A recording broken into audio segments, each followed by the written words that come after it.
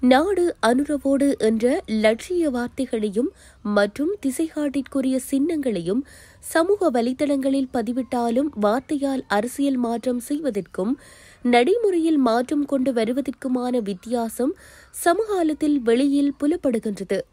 முன்னைய ஆட்சி தரப்பின் தவறுகளை சுட்டிக்காட்டி புதிதாக தோன்றிய அருகம்பை தாக்குதல் நடத்தப்படவிருந்தமை தகர்த்தப்பட்டதாக ஒரு பிம்பத்தை உருவாக்கி நாடாளுமன்ற தேர்தலுக்கு வாக்குகளை சேர்க்க அனுர முயற்சிக்கின்றாரா? நாடாளுமன்ற தேர்தலை முன்னிலைப்படுத்தி மாத்திரமே தற்போது அரசியல் நகர்வுகள் முன்னெடுக்கப்படுகின்ற நிலையில் பொருளாதாரம் குறித்தும் அனுரவின் மாற்றத்தை மக்கள் எதிர்பார்த்த வண்ணம் உள்ளனர். இதுவரை காலம் காணப்பட்ட பொருளாதார சிக்கல் நிமித்தம் அவ்வாறான சூழல் திரும்பக்கூடாது என்பதன் அடிப்படையில்தான் மக்கள் இம்முறை அனுரவை தேர்ந்தெடுத்தனர். இருப்பினும் பொருட்களின் விலை அதிகரிப்பின் தற்போதைய தாக்கம் மக்களுக்கு அனுர மீதான நம்பிக்கையை எவ்வளவு தூரம் கொண்டு செல்லும் என்பது கேள்விக்குறியாக உள்ளதாக குறிப்பிடப்பட்டுள்ளது.